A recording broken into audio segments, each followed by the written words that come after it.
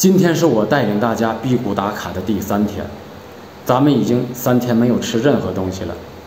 这第三天是分水岭，是最关键的一天。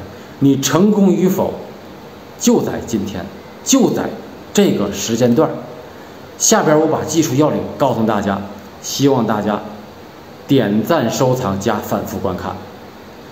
为啥说第三天最为关键？因为咱们前三天是糖体来供能，啊，在你糖体供能结束之后，就说你的葡萄糖消耗完了以后，要启动脂肪代谢来为你身体供能。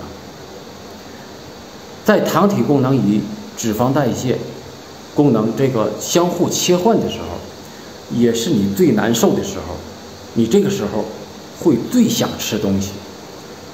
所以说，大家啥也不要吃，一定要忍住，多做辟谷功课啊，呃，可以喝点水，叩齿吞金加服气。